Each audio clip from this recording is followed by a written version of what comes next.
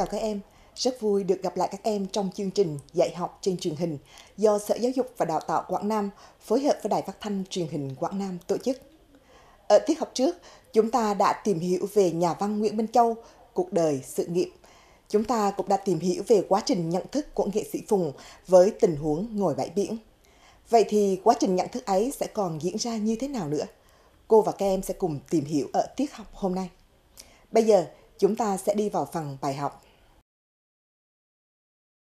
Như các em đã biết, quá trình nhận thức của nghệ sĩ Phùng được nhà văn Nguyễn Minh Châu xây dựng trên hai tình huống nhỏ. Cái tình huống thứ nhất đó là câu chuyện ở bãi biển, chúng ta tìm hiểu ở tiết mục. Và cái vấn đề thứ hai đó chính là cái tình huống ở tòa án.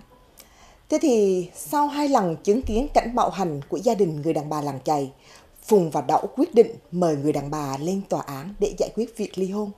Bởi vì trong suy nghĩ của Phùng và Đậu, 5 ngày một trạng nặng, 3 ngày một trạng nhẹ. Cả nước không có một lão đàn ông như nào như thế cả. Tôi chưa muốn hỏi tội hắn, nhưng tôi muốn nói ngay với chị rằng chị không thể nào chung sống với lão đàn ông vũ phu ấy đâu. Có thể thấy hành động của Phùng và Đậu vốn xuất phát từ lòng tốt, từ tình yêu thương đối với con người. Bản thân Phùng cũng đã đánh nhau với lão đàn ông và đã bị thương. Với Phùng, bi kịch của người đàn bà vốn xuất phát từ bi kịch gia đình và chỉ có một cách duy nhất giải thoát chị ra khỏi bi kịch ấy chính là giải pháp ly hôn. Thế nhưng cuộc sống có đơn giản xuôi chiều theo cách của Phùng và Đậu nghĩ hay không? Cô và các em sẽ cùng tìm hiểu cái phản ứng của người đàn bà trước cái lời đề nghị của Phùng và Đậu. Các em đi vào ý nhỏ thứ nhất, đó là phản ứng của người đàn bà. Thật bất ngờ, người đàn bà không hề vui sướng, cũng không hề đồng ý. Mà ngược lại, ở chị có một sự lo lắng, thẳng thốt. Các em thấy rằng đầu tiên là một sự phán lại, còn lại quý tòa. Các em chú ý cho cô cách xưng hô, hành động, cái ngôn ngữ của người người đàn bà. Tiếp đến là sự van xin. Quý tòa bắt tội con cũng được, phạt tù con cũng được, đừng bắt con bỏ nó. Chúng ta có thể nhận ra trong lời nói của người đàn bà một sự tha thiết, khẩn khoản và sợ hãi. Nghịch lý đã bắt đầu xảy ra. Người đàn bà, nạn nhân của nạn bạo hành lại kiên quyết từ chối giải pháp ly hôn. Vậy thì cái cảm xúc của Phùng và Đạo lúc ấy là như thế nào? Các em thấy rằng đầu tiên đối với nghệ sĩ Phùng, cái căn phòng lồng lộng gió biển của Đậu bỗng dưng như bị hút hết mọi không khí, trở nên ngột ngạt quá. Chúng ta thấy rằng cái ngột ngạt này nó không chỉ là cái ngột ngạt của không gian mà là cái ngột ngạt trong nhận thức, trong suy nghĩ của nghệ sĩ Phùng.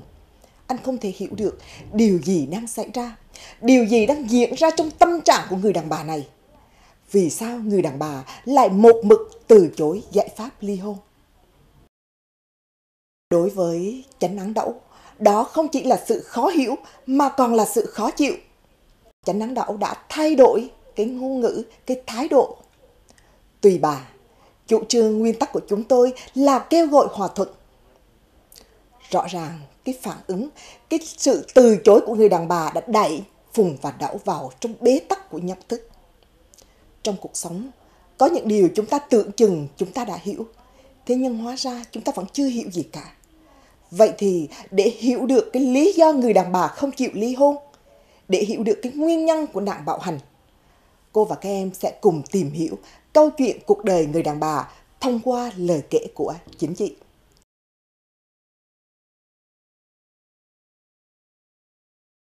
Thế thì à, các em thấy rằng đầu tiên chúng ta quan tâm đến cái cách của người đàn bà khi chị kể về cuộc đời mình. Các em nhớ lại rằng khi người đàn bà đến tòa án, chị mang một dáng vẻ khấm núm, sợ sệt, mặc dù đây là lần thứ hai chị đến với với tòa án. Trước cái lời đề nghị hồ hởi của chánh án đậu, người đàn bà ngồi ở mép ghế. Cái cách ngồi này khiến chúng ta liên tưởng đến cái cách ngồi của người vợ Nhật trong tác phẩm cùng tên của nhà văn Kim Lân. Cái cách ngồi mà nó biểu lộ cái sự tự ti, sự lo lắng và cả những cảm giác bất an. Thế nhưng khi kể về cuộc đời mình, người đàn bà lại trở nên bình tĩnh, khẩn thiết và mất hết mọi vẻ khấm nấm sợ sệt. Các em có thể thấy rằng người đàn bà trở nên gần gũi và thông cảm với Phùng và Đậu. Chị cảm ơn các chú, lòng các chú tốt, nhưng các chú đâu có phải là người làm ăn, nên các chú không thể hiểu được cái việc của người làm ăn lam lũ khó nhọc. Trong câu nói của người đàn bà đã lộ ra một sự sắc sảo. Người đàn bà đã nhìn thông suốt cuộc đời mình bằng cái nhìn của sự trải đời và thấu hiểu. Vậy thì cái nguyên nhân của nạn bạo hành là gì? Và cái lý do vì sao người đàn bà lại không chấp nhận giải pháp ly hôn? Các em tiếp tục theo dõi sách giáo khoa. Các em thấy rằng cái nguyên nhân của nạn bạo hành vốn không xuất phát từ người đàn ông. Bởi vì trong lời kể của người đàn bà làng chài, lão ấy trước đây là một anh con trai hiền lành cục tính nhưng chưa bao giờ đánh vợ.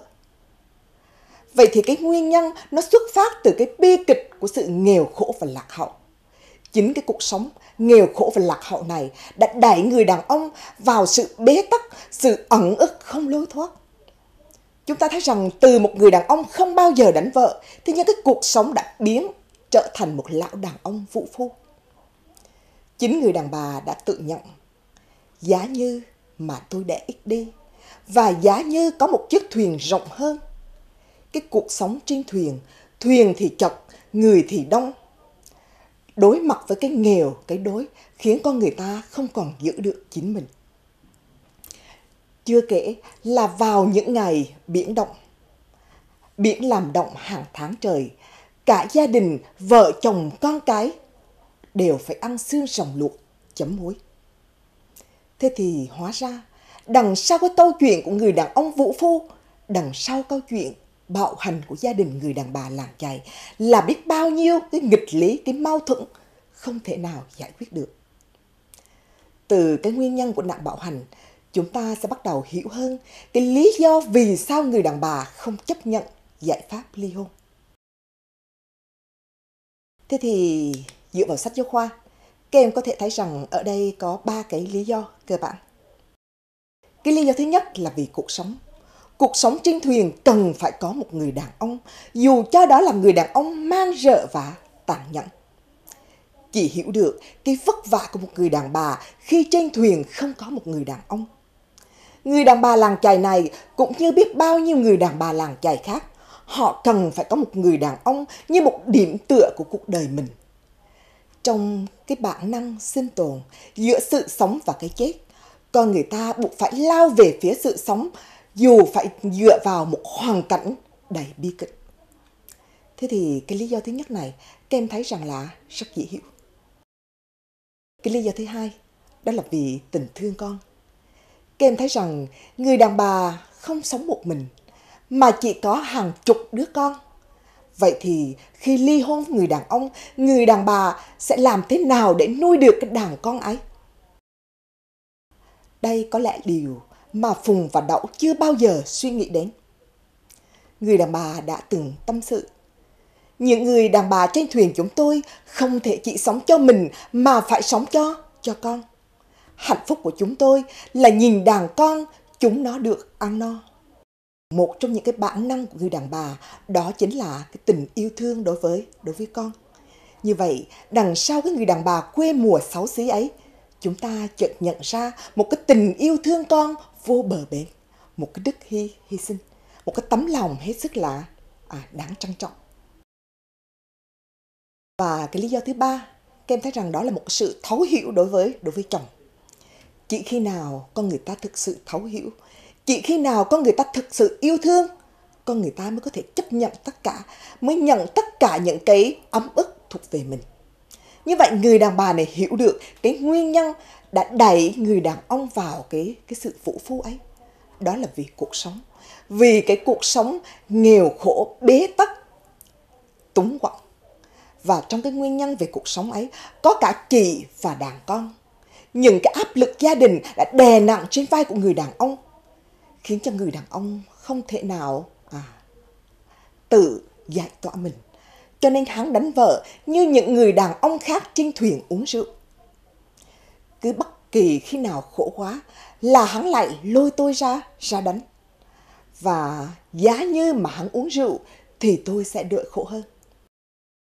Trong lời nói của người đàn bà có cả sự đồng cảm, sự thấu hiểu sâu sắc đối với người chồng mình. Ngồi ba lý do trên thì các em có thể thấy rằng còn một lý do nữa. Đó là gì? Cuộc sống không phải lúc nào cũng chỉ có đối khổ. Cuộc sống không phải lúc nào cũng chỉ có bạo hành. Cuộc sống vẫn có những lúc hạnh phúc. Cho nên cái câu hỏi của Phùng đôi khi nó rơi vào trong sự lạc lõng, hời hợt. Có lúc nào chị thực sự thấy vui không? Rõ ràng cái niềm vui ấy chỉ có người trong cuộc mới có thể thấu hiểu. Và những cái giây phút hạnh phúc hiếm hoi ấy có thể khiến cho người đàn bà chấp nhận mọi sự dày vò cả về thể xác lẫn tâm hồn. Như vậy các em thấy rằng chúng ta đã tìm hiểu cái câu chuyện cuộc đời của của người đàn bà. Và thông qua cái câu chuyện cuộc đời này, chúng ta đã hiểu hơn về à, những cái nghịch lý, những cái mâu thuẫn mà bản thân gia đình chị đã phải phải đối mặt. Hơn ai hết, người đàn bà đã mang đến cho Phùng và Đậu một bài học về về cuộc sống. Cuộc sống vốn tồn tại những bế tắc, những nghịch lý mà không phải lúc nào con người ta cũng có thể giải quyết được. Vậy thì đứng trước cái câu chuyện cuộc đời người đàn bà làng chài, Phùng và Đậu đã có sự thay đổi nhận thức như thế nào? Chúng ta sẽ tiếp tục tìm hiểu. Kem em thấy rằng đối với chánh nắng đâu. từ chỗ anh nói rằng là gì? À, không thể nào hiểu được thì anh đã vỡ ra. À, bây giờ thì tôi đã hiểu. Có một cái gì đó mới vỡ ra trong đầu của vị bao công phố huyện vùng biển. Trong anh lúc này đầy suy nghĩ và nghiêm nghị. Đó là cái quá trình tự nhìn lại bản thân mình là một người bao công phố huyện. Nhưng có bao giờ Đậu nghĩ rằng những người dân trong phố huyện phải từng ngày từng ngày đối diện với cái bi kịch, với cái tàn nhẫn như thế hay không? Còn đối với nghệ sĩ Phùng, cái quá trình nhận thức này nó diễn ra một cách lặng lẽ, âm thầm và sâu sắc. Nhà văn Nguyễn Minh Châu đã xây dựng một đoạn văn để miêu tả cái nội tâm nhân vật Phùng. Trong khi Chánh Án Đậu tìm người đàn ông để săn dạy, thì nghệ sĩ Phùng đã phát chiếc máy ảnh lang thang trên biển cho đến tận khuya. Cả cái vùng phá nước bây giờ nó trở nên trống trải quá. Chúng ta thấy rằng cái trống trải này nó không chỉ là cái trống trải của không gian mà là cái trống trải trong tâm hồn người nghệ sĩ. Đó là cái quá trình mà người nghệ sĩ nhìn lại mình, nhìn lại cuộc sống và thậm chí nhìn lại cả thứ nghệ thuật mà bấy lâu nay anh đang theo đuổi. Đằng sau chiếc thuyền lưới vó thơ mộng ấy là một khung cảnh bạo hành. Đằng sau cái cảnh bạo hành là bao nhiêu nghịch lý cuộc đời đang diễn ra. Và đằng sau những con người khốn khổ kia lại có bao nhiêu cái tấm lòng, bao nhiêu cảnh ngộ đáng thương. Hóa ra trong cuộc đời này, đằng sau cái đẹp có thể là cái xấu. Và đằng sau cái xấu ấy, người ta vẫn thấy lấp lánh những vẻ đẹp. Đó là những vẻ đẹp khuất lấp. Và trong cái à, cái đoạn văn này thì nhà văn Nguyễn Minh Châu à, lại xây dựng một cái chi tiết đó là cái hình ảnh của biển. Các em thấy rằng ở tiết học trước Cô đã từng nói rằng là trong truyện ngắn của nhà văn Nguyễn Minh Châu, ông thường hay sử dụng những hình ảnh mang tính chất biểu tượng. Bản thân những hình ảnh mang tính chất biểu tượng này, bên cạnh cái ý nghĩa thật thì nó vẫn có một ý nghĩa ẩn dụ. Thế thì chúng ta thấy rằng biển xuất hiện gợi nhớ đến cái hình ảnh biển của bụi bình minh hôm ấy. Đó là một cái không gian đẹp như một bức tranh mực tàu của một danh họa thời cổ. Thế nhưng lúc này biển lại xuất hiện với những cái mẫu gỗ cưa từ những lẻ váng của một chiếc thuyền được vớt lên sau vụ đắm tàu năm ngoái. Biển hiện lên với cái hình ảnh gió thì đột ngột, mây đen thì ngỗ ngang, biển đen ngồm, biển gào thét. Các em thấy rằng phải chăng cái hình ảnh biển ấy cũng là một hình ảnh ẩn dụ về về cuộc đời. Cuộc đời có lúc rất thi vị, rất thơ mộng, nhưng có lúc lại đầy bi kịch, đầy bế tắc. Cuộc đời ở những góc nhìn khác nhau thì nó lại tạo nên những hình ảnh khác nhau. Hai hình ảnh của một đối tượng từ hai góc nhìn. Như vậy đôi khi cái bản thân cái xấu tốt trong cuộc đời này nó không phải xuất phát từ chính cuộc đời mà nó xuất phát từ cái góc nhìn của của con người. Như vậy thông qua cái tình huống ở tòa án, thông qua những cái câu chuyện cuộc đời thì có một cái sự thay đổi cái nhìn của Phùng và Đậu, đặc biệt là sự thay đổi cái nhìn của nghệ sĩ Phùng về biển, về cuộc sống, về những cái thức nhận đơn giản xuôi chiều trước kia. Chúng ta đã tìm hiểu à, cái quá trình nhận thức của nghệ sĩ Phùng với hai cái tình huống nhỏ. Cái tình huống thứ nhất đó là cái câu chuyện ở bãi biển và cái tình huống thứ hai đó là cái câu chuyện ở ở tòa án. Vậy thì thông qua cái quá trình nhận thức ấy, nhà văn Nguyễn Minh Châu muốn nói điều gì? Rõ ràng có rất nhiều điều mà nhà văn muốn muốn gửi gắm. Thế nhưng trong phạm vi của một tiết học thì cô nghĩ rằng à, các em sẽ nắm được những cái ý cơ bản sau đây. Chúng ta phải thấy rằng trước hết đó là cái sự nhận thức về về cuộc sống. Cuộc sống thời hậu chiến vốn ngổn ngang những nghèo khổ những những lạc hậu. Bi kịch cuộc đời của người đàn bà cũng như cái bi kịch gia đình ấy chính là điển hình của cuộc sống thời hậu chiến. Cuộc sống vừa mới đi ra từ trong chiến tranh trên mặt đất vừa được giải phóng. Thế nhưng vẫn ngổn ngang những cái đau khổ, những cái bế tắc. Và khi chúng ta đặt cái cái nhận thức này vào trong cái hoàn cảnh ra đời của tác phẩm sau năm 1975, đặc biệt là đầu những năm 80, thì chúng ta càng hiểu hơn cái vai trò tiên phong của nhà văn Nguyễn Minh Châu. Nhà văn với một cái bản lĩnh của mình, với một cái sự dũng cảm của mình, ông đã nhìn thẳng vào hiện thực như nó vốn có. Đây không chỉ là cái thông điệp à, của riêng nhà văn, mà là cái thông điệp gửi gắm đến tất cả những cái người nghệ sĩ cùng thời. Hãy nhìn vào cuộc sống như nó vốn có. Hãy nhìn vào cái hiện thực thời hậu chiến với những ngộ ngang, những đối nghèo, những những lạc hậu, những cái hiện thực còn đang gian dở. Và có một cái nhận thức thứ hai nữa. Cái nhận thức này nó không chỉ có ý nghĩa với thời đại tác phẩm ra đời mà cô nghĩ rằng nó sẽ có ý nghĩa với muôn đời cho cả chúng ta. Đó là gì? Cuộc sống luôn tồn tại những những nghịch lý. Cuộc sống luôn tồn tại giữa cái tốt và cái xấu. Giữa cái thi vị và cái bi kịch chúng ta đừng bao giờ có một cái nhìn cầu toàn về cuộc sống. Chúng ta không thi vị hóa cuộc sống, nhưng cũng đừng bi kịch hóa cuộc đời này. Sau này các em lớn lên, các em càng thấm thía hơn cái điều mà nhà văn Nguyễn Minh Châu gửi gắm ngày hôm nay. Cuộc đời luôn tồn tại những nghịch lý, và khi chúng ta hiểu được điều đó, chúng ta sẽ sống một cách mạnh mẽ hơn, bản lĩnh hơn và nhìn cuộc đời này bằng một cái nhìn bao dung hơn. Bây giờ các em sang cái nhận thức thứ hai, đó chính là nhận thức về về con người. Thế thì đầu tiên chúng ta thấy rằng à trong tác phẩm hiện lên cái bi kịch cuộc đời của những con người thời hậu chiến. Đó là bi kịch của người đàn bà làng chài, bi kịch của lão đàn ông và cả những à, những đứa con.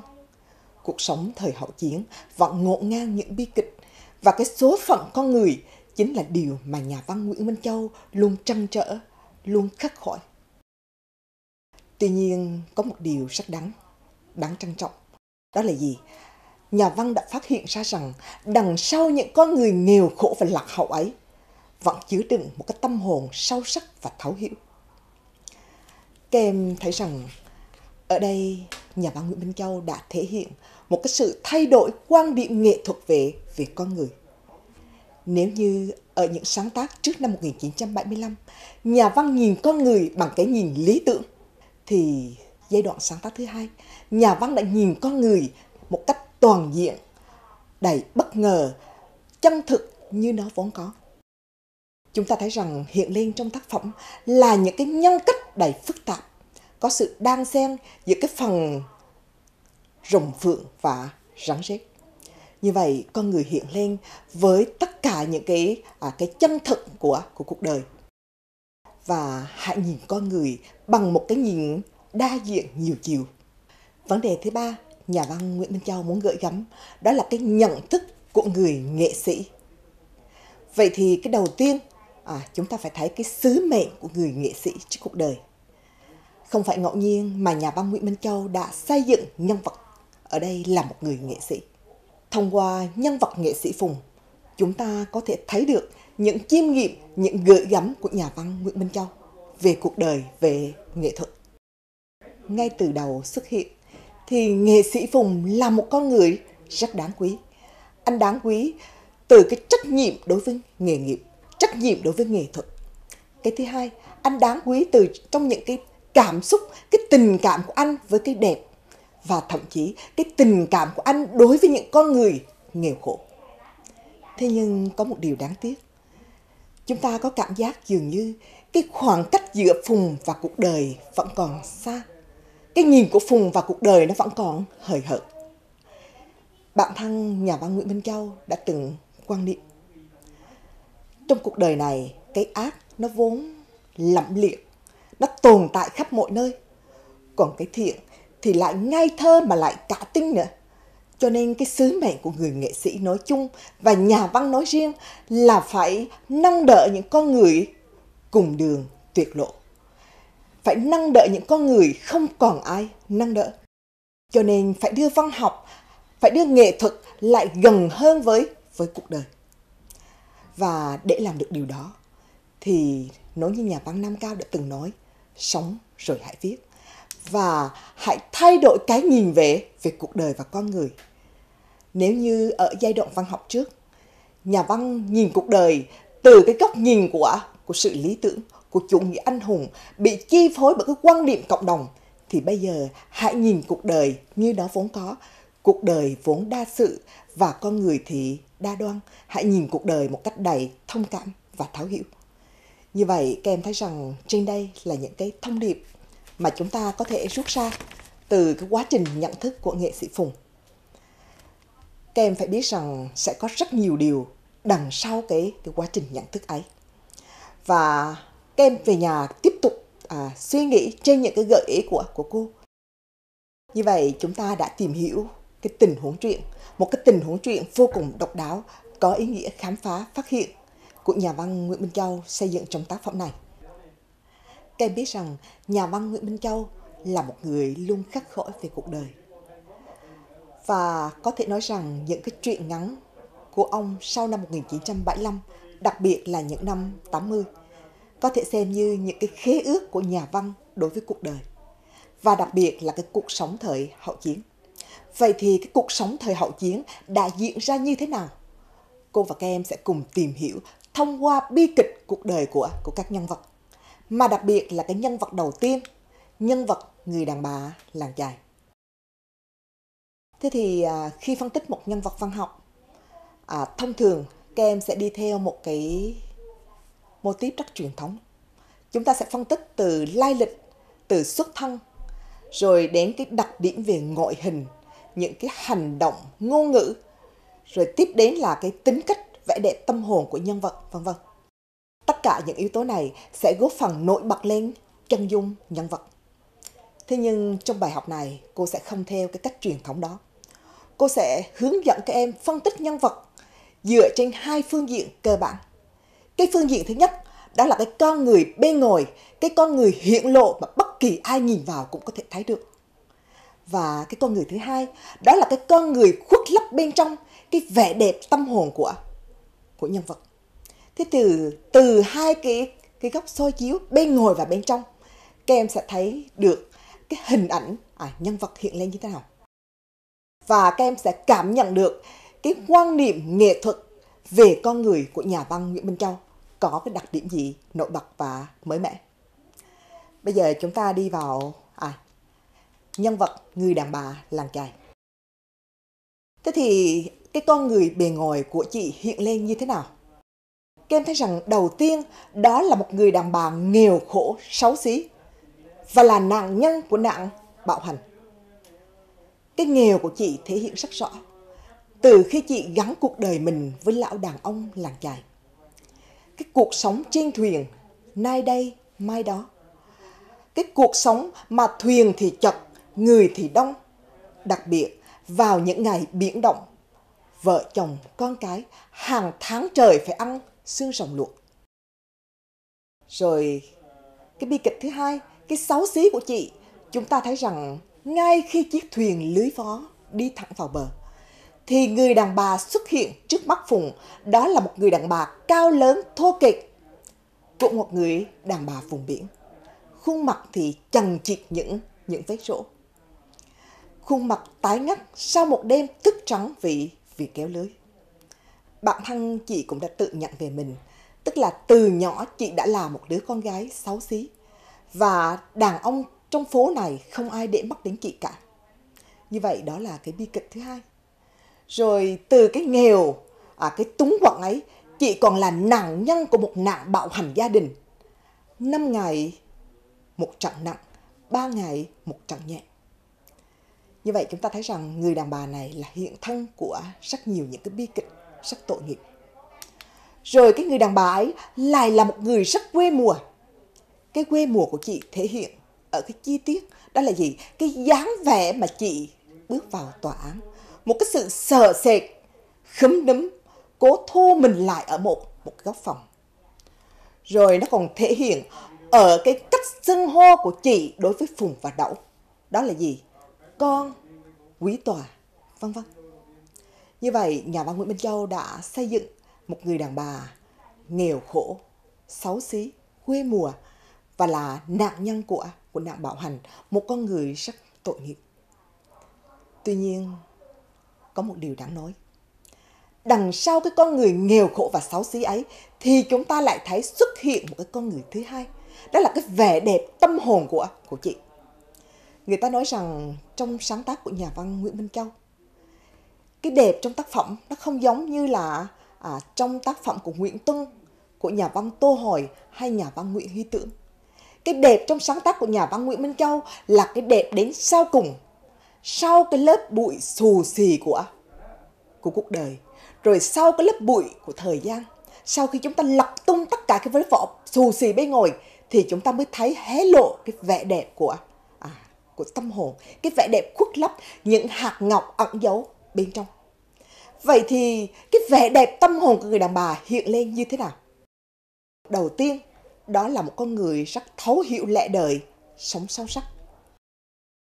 Cái sâu sắc, cái thấu hiểu của chị thể hiện trước hết và rõ nhất đó là cái việc chị từ chối giải pháp ly hôn. Người đàn bà hiểu được một điều, cuộc đời không hoàn toàn là là bi kịch. Cuộc đời cũng không phải là một màu hồng, mà cuộc đời là sự đan xen giữa cái xấu, cái tốt, giữa bi kịch và cái thi vị, giữa hạnh phúc và và khổ đau. Cho nên người đàn bà đã nhìn cuộc đời ấy bằng một cái nhìn đầy thấu hiểu và và chấp nhận. Chính vì vậy chị đã từ chối giải pháp ly hôn. Hơn nữa, sau này khi các em lớn lên, các em thể hiểu được một điều. Cuộc sống hôn nhân không phải lúc nào không sống được là con người ta lại dắt nhau ra tòa ly hôn. Bởi vì con người không sống một mình mà có những cái mối quan hệ chằng chịt không thể nào giải quyết được. Như vậy chúng ta thấy được à, cái sự sâu sắc của của người đàn bà. Rồi cái thứ hai đó là gì? Chị thương chồng và và hiểu chồng. Hơn ai hết, người đàn bà này hiểu được cái lý do biến một người đàn ông vốn hiền lành cục tính trở thành một người đàn ông vụ phu xem việc đánh vợ như một sự giải tỏa cảm xúc của mình. Đó chính là đâu? Là vì hoàn cảnh, vì cái nghèo, cái khổ, vì cái bế tắc, cái áp lực gia đình, trong đó có cái nguyên nhân từ chị và và những đứa con. Cho nên khi hiểu được điều đó thì người đàn bà mới chấp nhận, mới tự nguyện là một cái vật hy sinh để giải tỏa cái bức bối trong tâm hồn của của người chồng. Và có một cái điều nữa các em có thể lưu ý, đó là gì? Trong cái lời kể của chị, chúng ta thấy rằng hàm chứa một sự biết ơn. Chị hiểu rằng chị là một người à, rất xấu xí và đàn ông trong phố này không ai để mặt đến chị cả. Thế nhưng người đàn ông này là người duy nhất đã mang đến cho chị cái hạnh phúc của một người đàn bà. Cái hạnh phúc được làm vợ, được làm mẹ. Cho nên từ cái sự thấu hiểu và cái lòng biết ơn ấy, thì chúng ta thấy rằng là à, trong lòng người đàn bà đã dấy lên một cái tình yêu thương và một sự thấu hiểu sâu sắc đối với đối với chồng mình. Cái vẻ đẹp tâm hồn thứ ba mà các em có thể cảm nhận được đó chính là cái tình yêu thương đối với những đứa con. Một trong những cái bản năng của người đàn bà đó chính là tình yêu thương con. Thế nhưng không phải ai cũng có thể yêu thương con một cách sâu sắc và đầy xấu hiểu như người đàn bà này. Một trong những cái bản năng của người đàn bà đó chính là cái tình yêu thương con. Thế nhưng không phải ai cũng có thể yêu thương con một cách sâu sắc và đầy thấu hiểu như người đàn bà này. Điều này nó thể hiện ở hai chi tiết rất là rõ. Thứ nhất, đó là gì? Người đàn bà chấp nhận cuộc sống bạo hành, chấp nhận bị dày vò cả về thể xác lẫn tâm hồn để cho con một cuộc sống yên ổn. Ở đây chúng ta có thể liên tưởng đến cái nhân vật Phan Tinh trong tác phẩm Những người khốn khổ của Victor Hugo. Các em thấy rằng Phan Tinh đã bán tóc, bán răng, thậm chí là bán cả nhân phẩm để cho con mình một cuộc sống. Người đàn bà ấy đã phải đau khổ như thế nào khi nghe tin con mình trời lạnh không có áo để mặc. Đau ốm không có thuốc để để uống. Cho nên bằng cái tấm lòng, cái tình yêu thương của người mẹ thì Phan Tinh đã chấp nhận bán tất cả. Thế thì tương tự, người đàn bà làng chài này vì đàn con chỉ chấp nhận cuộc sống bạo hành, chấp nhận một cái cuộc sống đầy bi kịch vả và bế tắc. Cái tình thương còn thể hiện ở một cái chi tiết nữa, đó là gì? Kem thấy rằng người đàn bà đã gửi thằng Phát lên rừng sống với ông Ngọ. Rồi người đàn bà đề nghị người đàn ông đưa chị lên bờ để mà mà đặt. Chị hiểu rằng những cái lằn rôi trên cơ thể mình nó sẽ lành lặn theo năm tháng. Nhưng nó lại tạo nên những cái vết hằn trong tâm hồn của của những đứa con. Nó tạo thành một cái tuổi thơ không lành lặn. Và những cái mặc cảm tuổi thơ này nó sẽ ám ảnh suốt cuộc đời của những đứa đứa trẻ. Rõ ràng điều chị lo lắng không phải là à, viễn vông. Chị không muốn cái bi kịch của chính mình trở thành một cái bi kịch của gia đình. Cụ thể là chúng ta có thể à, nhớ lại cái con dao găm được giấu trong cặp quần của, của thằng Phát. Dường như thằng bé muốn làm một điều gì đó rất khủng khiếp. Và đó chính là những cái lý do mà từ ban đầu cô đã khẳng định tình yêu thương con thì người đàn bà nào cũng cũng có cả. Thế nhưng yêu thương con sâu sắc và đầy thấu hiểu như người đàn bà làng chài này thì không phải người đàn bà nào cũng có thể có được. Như vậy, chúng ta vừa tìm hiểu nhân vật người đàn bà làng chài từ hai cái góc nhìn, cái góc nhìn bên ngoài và cái góc nhìn bên trong để từ đó các em thấy nổi bật lên cái hình tượng nhân vật cũng như những quan điểm nghệ thuật về con người mà nhà văn Nguyễn Minh Châu đã gửi gắm trong tác phẩm. Vậy thì thông qua nhân vật người đàn bà làng chài, nhà văn muốn gửi gắm những cái thông điệp nào? Trước hết, đó là bi kịch cuộc đời của những người phụ nữ. Rõ ràng cái vấn đề thân phận của người phụ nữ không phải là một vấn đề mới. Văn học từ cổ chí kim cũng đã đề cập đến cái thân phận, cái bi kịch của người của người phụ nữ. Thế nhưng ở đây các em có thể lưu ý cái bi kịch của những người phụ nữ trong một cuộc sống giữa đối nghèo lạc hậu thì nó sẽ như thế nào? Và đặc biệt đó là gì? Đây chính là cái cuộc sống vừa mới đi ra từ trong chiến tranh. Cái cuộc sống trên mảnh đất vừa được giải phóng. Cái cuộc sống thời hậu chiến. Từ cái bi kịch cuộc đời của con người, chúng ta có thể hình dung được cái bi kịch của cuộc sống thời hậu chiến mà nhà văn Nguyễn Minh Châu muốn muốn nhấn mạnh. Bên cạnh đó, các em thấy rằng ở đây nhà văn đã xây dựng cái nghệ thuật tương phản. Cái đối lập giữa cái bên con người bên ngồi và cái con người bên trong. Vậy thì cái cái nghệ thuật tương phản ấy nhà văn muốn nhấn mạnh điều gì? Các em thấy rằng đằng sau những con người quê mùa xấu xí kia là một cái tâm hồn rất đáng trân trọng. Một người đàn bà sâu sắc, giàu tình yêu thương và và đức hy sinh. Như vậy có thể thấy rằng đằng sau cái người đàn bà xấu xí ấy là một cái cái vẻ đẹp tâm hồn. Cái vẻ đẹp mà nhà văn Nguyễn Minh Châu đã từng gọi đó là gì? Là những hạt ngọc ẩn giấu trong trong tâm hồn. Chúng ta từ cái nhân vật này để chúng ta thấm thía hơn cái cách nhìn về về con người. Hãy nhìn con người một cách nhiều chiều, đa diện, hãy nhìn con người một cái nhìn thấu hiểu và sâu sắc hơn. Nhà văn Nguyễn Minh Châu bao giờ cũng luôn khắc khỏi về về con người, luôn có một cái nhìn ao lo và chịu nặng trước số phận của của con người. Tuy nhiên có một điều rất đáng trân trọng, bao giờ nhà văn cũng có một niềm tin đối với con người, cho nên ông luôn à, tìm kiếm những cái vẻ đẹp ẩn giấu đằng sau bên trong con người.